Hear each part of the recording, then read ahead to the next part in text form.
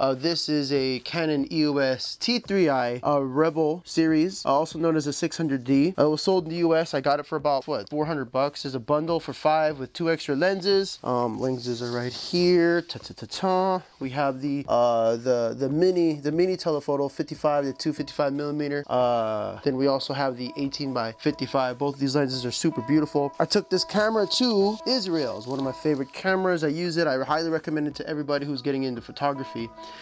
So, uh, why am I doing this? This is the first of a mini vlog series. I needed a B camera. I found this B camera. Uh, funny story, uh, you know, about me finding it here in Japan. Uh, my dad had it in possession, but now I have it back. So I'm going to use this opportunity to clean this camera because it was left here to literally collect not just dust, but mold. Uh, I am in, I am in Yokosuka, Japan here. Uh, why am I doing this? It got super moldy.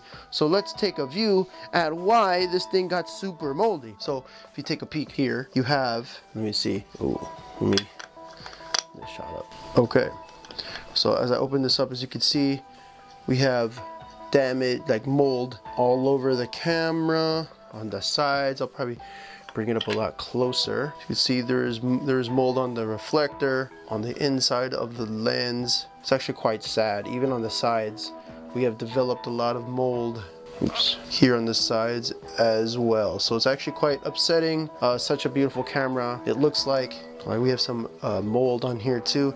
In Japan, there's a there there's a lot of moisture during the summertime. So if you do not seal your items, uh, they they, they they're exposed to heat and being exposed to moisture yeah just a little bit of crackness and all of a sudden you have yourself mold growing on your not just your electronic devices but also on your clothes on your shoes anywhere that's not securely um, prepared for the summer humidity here in Japan all right let's go to oops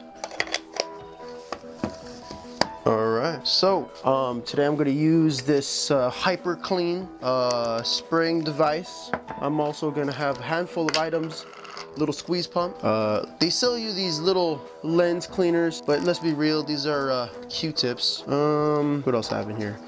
And my handy dandy liquid spray. This and this comes with some lens, some actual lens tissues. This probably set me back a good eight bucks. Nothing, nothing too, nothing too expensive. The container, this plastic container, actually costs more than all everything that came in here. Okay, so let's take a good, nice, hard look inside. I'm also going to use some wet naps. These are some flushable wet naps you can use. You can just get them as at the convenience store here. Just night keeping things a bit cold, kind of moist. All right, there we go. Let's go to town with cleaning my old camera. Here we go. So me see. I might get some rubbing alcohol to be honest with you. I think rubbing alcohol might actually do wonders for something like this. So as you can see on this Rebel T3i, I equipped a battery pack. Uh, why? Because I, um, when I took this device to Israel, I didn't want to, I, I was recording a lot of mini videos. I, I didn't want to stop like to uh, have a hard time finding chargers and whatnot.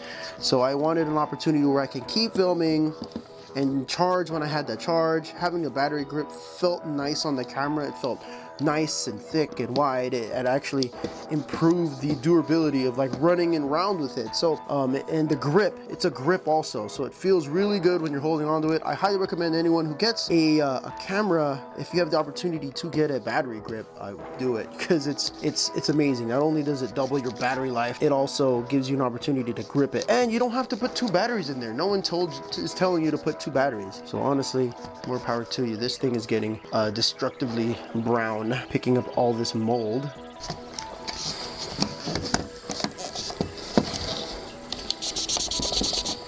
Yep. All right. Can't tell. I should have got a toothbrush, really. Because now I think I'm just rubbing, rubbing all the stuff I'm not supposed to in, in here, right? Let me take off this little mini viewfinder here. Ta-da! Right. I should actually do this to my camera that I'm recording now. What I'm recording with right now is a Canon 5D Mark II, uh, one of my favorite cameras. Uh, I got it for very cheap because uh, my motherboard is damaged, and because I have a damaged motherboard, I cannot receive, I cannot download the videos properly. I have to manually remove the the uh, the, the compact flash card, which is fine. Like I'm not, you know, it took me a while to find a way to do it, but I did it, and now I get to film video. So let's just clean this up. All right, if you live in Japan, you're gonna know about mold. It's gonna be everywhere. Get used to it. You have to. This is this is the country where if you don't, you better watch out. Make sure your stuff is securely fastened. Should have got a brush for that. Same as this. These little cracks and nooks and stuff. Like, oh man, it's deep in there. That's, so this was originally in San Diego, California.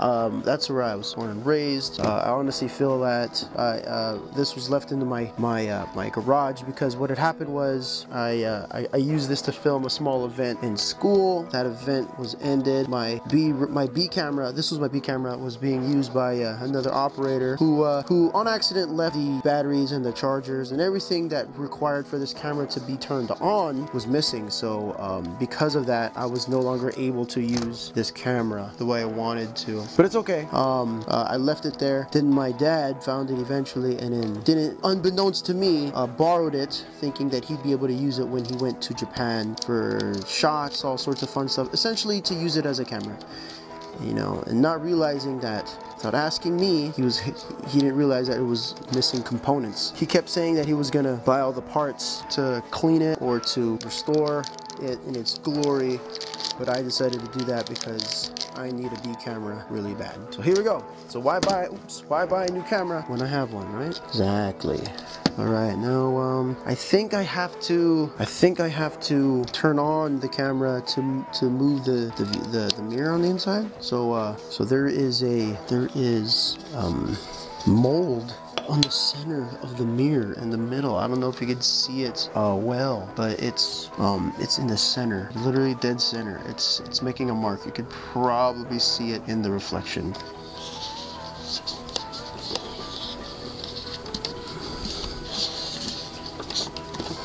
Let me take off this battery pack. Unlock it.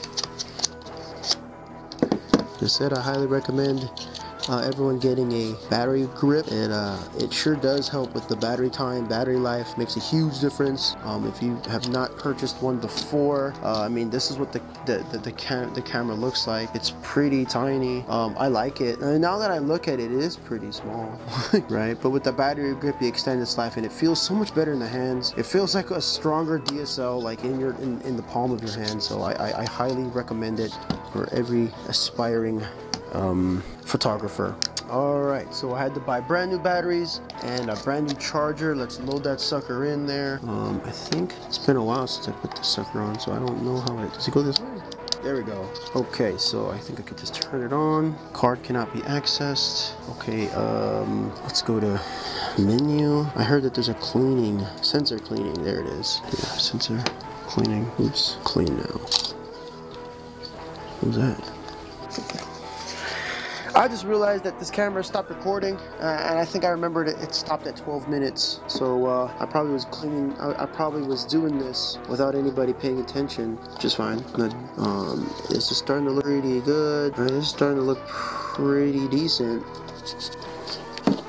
starting to look like a normal camera now. It's starting to look super clean, just like on point. Look at that. Brand new, like I never did anything wrong to it. Which I didn't, just in case someone watches this video and they see me trying to sell this camera in the future. Which I don't think so. I think this camera was well made, well maintained, and now it's being cleaned and it's starting to look brand new. Look at that. Brand spanking. Lightly used, okay? Lightly used, pre-owned is like they like to say it nowadays. Pre-owned.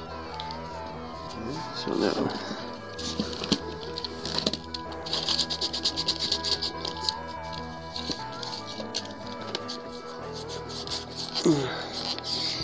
There's a good scrub. He said everybody should get a grip. That's funny. Everybody should get a grip. And they should. rust. What do you know? I guess it's good to clean that too.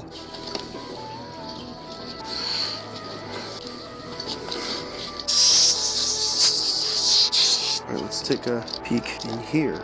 Um, it looks like this was getting some mold too. Let's give that a clean. Yeah, any small holes, cracks, air, like mold will creep in. Don't let it do that.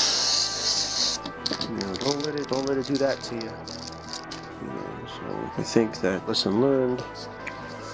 Take care of your stuff. Pay attention to mold. Make sure you don't leave your devices out so no one can take them. And more power to you when you get yourself a grip. I honestly feel that everyone should get one. It great. Uh, I'm going to be using this camera as a B camera. Probably not that much filming. However, I'll be using it in many stills and taking in post-production or during production. Also, it's going to be my running gun. It's a lot lighter than the uh, Mark Mark II, the, the 5D Mark II. Um, oh, the best part is you get to take a picture uh, down here with this, this button. It's the best. This thing's the, the grip. Um, you know, they, I think it's like like 75 75 dollars, something like that. I don't know. I don't remember. All I know is it was worth it, worth the buy. This isn't a knockoff. This was the uh, the ProMaster. Um, I felt like it was a it was a good one. I don't know if they made a, any for uh, here in Japan, but uh, but yeah, that's the uh, that's the Canon 5D, uh, the, the Canon EOS Rebel T3i. I just spent the next the past few minutes giving it a nice good clean. Uh, thank you for watching, and uh, I'll see you guys uh, next time.